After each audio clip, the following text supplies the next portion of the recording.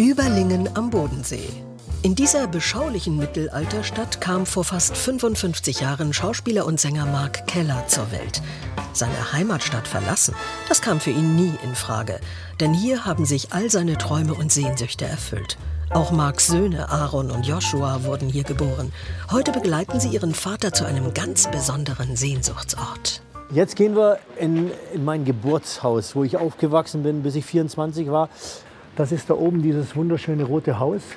Äh, das alte Gefängnis von Überlingen. Das ist die, da ist jetzt die Narrenzunft drin, aber da hänge ich dran und jetzt ist es eine Premiere und ich bin echt dankbar, dass wir da reinschauen können und freue mich sehr. Mark Keller wuchs bei seinen Großeltern auf. Sechs Monate nach seiner Geburt verstarb seine Mutter ganz plötzlich. Das Haus aus dem 13. Jahrhundert war Dreh- und Angelpunkt seiner Jugend. Hier schmiedete der ehrgeizige Junge ganz früh seine Karrierepläne. Neben seiner kampfsportlichen Leidenschaft galt sein Interesse an erster Stelle dem Showgeschäft. Dort hinten hatte ich so eine Stereoanlage mit zwei Speakern. Dann habe ich immer die Musik laufen lassen, hatte hier einen Spiegel angelehnt und ich stand immer hier und habe jeden Mittag, nachdem ich aus der Schule kam, habe dann hier immer gestanden, Mikrofon, Platte laufen lassen und habe immer zugesungen. I just can't help believing when she's lying close beside me. Und da drüben wenn, musste ich das Fenster zumachen, weil der Nachbar ihr gesagt hat, pass auf, mit zehn hat er Schlagzeug gespielt wie ein Verrückter, hat uns wahnsinnig gemacht, jetzt singt er jeden Mittag um eins eine Stunde lang. Und das ging die ganze Zeit so. Spurensuche im alten Kinderzimmer.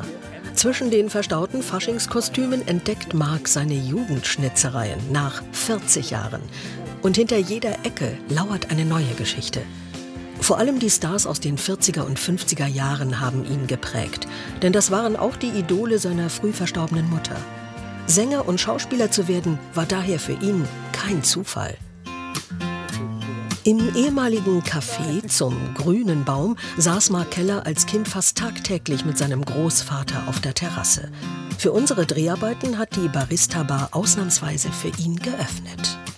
Meine Mutter wollte an, anscheinend immer zum Film gehen. Ja? Und dann habe ich gesagt, gut, dann äh, werde ich für meine Mutter zum Film gehen und habe mir dann immer die alten Filme angeschaut, wie die Fotos von meiner Mutter waren. Und dann habe ich Ave Gardner gesehen, die alten Hollywood-Stars, Rita Hayworth.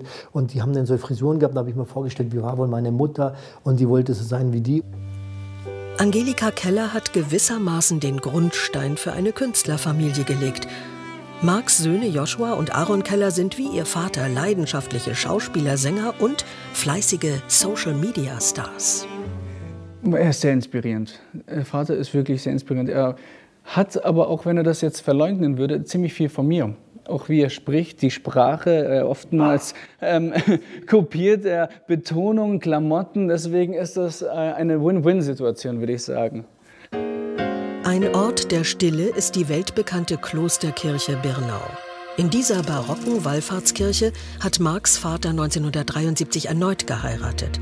Mark hat bis heute eine innige Beziehung zu seinem kroatischen Vater, der sich liebevoll um ihn gekümmert hat. Doch eine neue Frau an seiner Seite, das war für den damals achtjährigen Mark zu viel. Kurzerhand sprengte er die feierliche Trauung. Ein Vorfall, über den er heute schmunzeln kann.